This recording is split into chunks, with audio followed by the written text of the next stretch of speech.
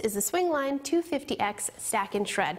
It's a cross-cut shredder for office use, and I'm going to show you how it works. It can shred up to six sheets of paper at one time. Go ahead and pop this paper into the 9-inch throat. You can tear through credit cards, CDs, paper clips, and staples. It also has a power save mode and self-cleaning cutters.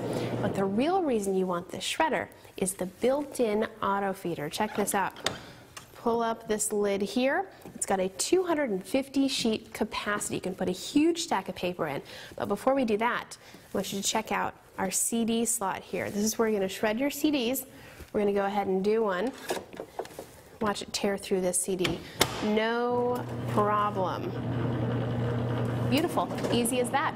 Now let's shred some paper. So I'm going to grab a big stack of paper here, open it back up, like I said, it can hold up to 250 sheets at one time. All you have to do is stack it in here, shut the lid, and shred away. Now this shredder in particular has a special feature. It has a four digit pin here. So say you have some sensitive documents, you don't have time to stand around and wait for them to shred. All you have to do is put your pin in. There you go.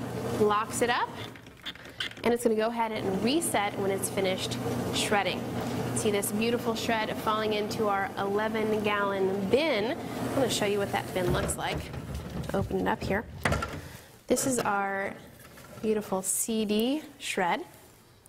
And I'll show you what our cross-cut paper shred is going to look like. Very nice.